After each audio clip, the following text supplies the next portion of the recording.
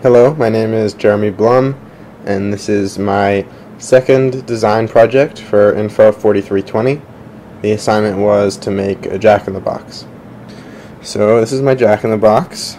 It's a box cut out of acrylic. The handle is actually made out of staples.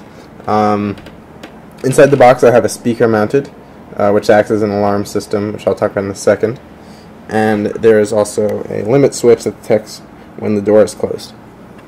Uh, there's a standard servo motor that actuates the arm and opens the door as well as brings the jack up.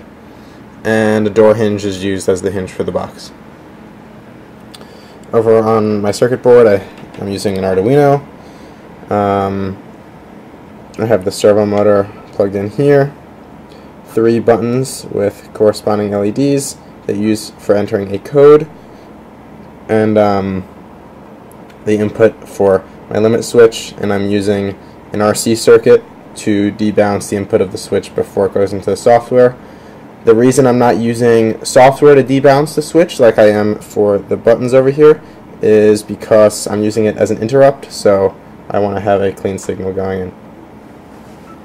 Alright, so I'll show you how the box works. Basically the way it's set up is uh, you have to enter a code on these uh, six input code on these three buttons, so some combination of six key presses. And if you enter the right code, it plays a song and opens up for you. And if you play the wrong code, it gets mad at you.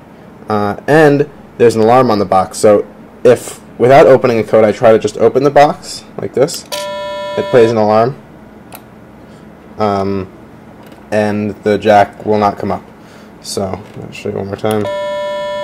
And you can see that the alarm beeps there, and uh, thanks to the RC circuit, you don't have any issues with it detecting the alarm several times and getting annoying. Okay, so first I'll enter the wrong code.